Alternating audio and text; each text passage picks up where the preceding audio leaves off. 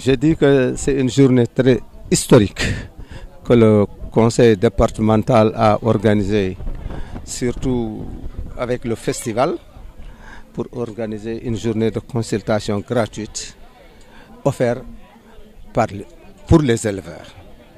Donc euh, je me réjouis vraiment euh, aujourd'hui de voir tout ce monde qui sont pu venir et tous ces animaux qui sont là.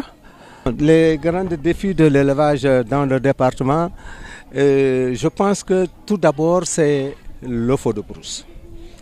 Les feux de brousse c'est un défi majeur qui nous prie très sincèrement, avec également euh, qui nous viennent du nord, euh, qui viennent vraiment en masse. Je dis bien pour cette année, ils ont venu vraiment en masse. Mais Dieu fait bien les choses que l'administration, euh, les collectivités locales, les chefs de village, les organisations d'éleveurs, les, euh, ont pu pouvoir organiser des rencontres qui de vraiment de rester ensemble sans pour autant qu'il n'y ait pas beaucoup de difficultés. Pas de ne pas y avoir de difficultés, mais pour que les difficultés quand même soient gérées par nous-mêmes pour que vraiment que ces difficultés-là ne nous dépassent pas. L'État doit un plus sur l'organisation de la transhumance. La transhumance là doit être organisée.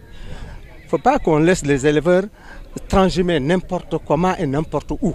Il faut qu'on organise la transhumance. Quand la transhumance est organisée, je pense que là maintenant tout le monde est à l'aise. Parce que vous savez, il y a le problème entre agriculteurs et éleveurs, entre éleveurs euh, euh, sédentaires et éleveurs transhumants. Il y a tous ces problèmes-là qui sont là. Mais si c'est organisé, je pense que ça va bien marcher. Alors, le ministre de l'élevage, euh, ce que nous disons cette année, il n'y a pas beaucoup d'herbes. Il n'y a pas beaucoup de... Ça pose énormément de problèmes.